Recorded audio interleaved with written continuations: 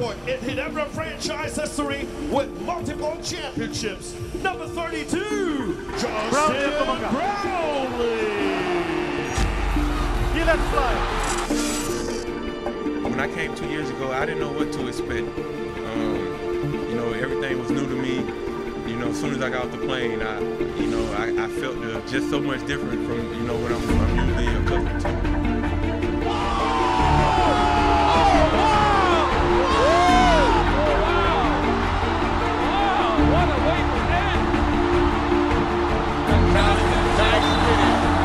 three-time PBA champion, back to back.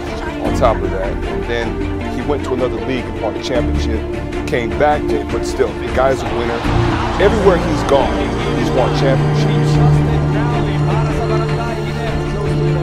No way in hell are any of those guys going to do that in this day and age. It's not going to happen. No way. He's a special not just a special person, player, but a special person.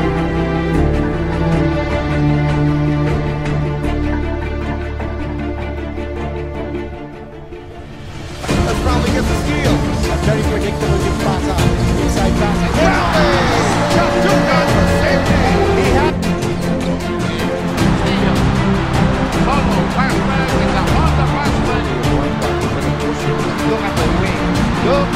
At the wing. Right?